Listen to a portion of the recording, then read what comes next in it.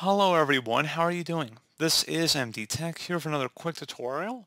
In today's tutorial, I'm going to show you how to resolve an unspecified error when copying a file or folder on your Windows 10 or Windows 11 computer. So this should hopefully be a pretty straightforward process here guys, and without further ado, let's go ahead and jump straight into it. First thing I recommend doing would be just to go ahead and actually restart your computer.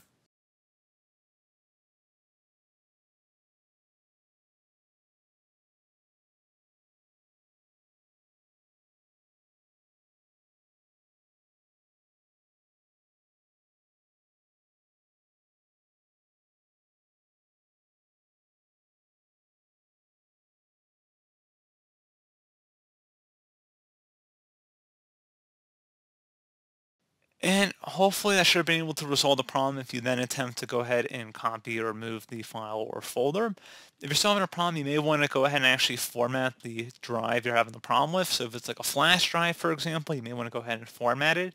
So just keep in mind what we're about to do is going to delete any information or files or documents or pictures or anything on that drive. So make sure you have it backed up if possible. And we're going to go ahead and proceed here. So go ahead and open up File Explorer select this PC on the left side, and then right click on the drive you're having the problem with. So if it's like a flash drive, which is particularly what this is for, don't do this for like a backup hard drive. I would do this if you have an issue with like a flash drive, for example. Right click on it, and you're going to select the format option. And you want to select where it says in the file system type, click on the drop down. NTFS is fine. You can try the FAT file format as well if you're still having a problem. And you would select start Formatting will erase all data on this disk. To format the disk, click OK. So select OK. Format's complete, select OK again, and then attempt to copy or and then try and transfer anything to that drive, and hopefully your issue has been resolved.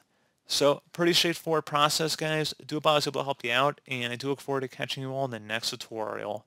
Goodbye.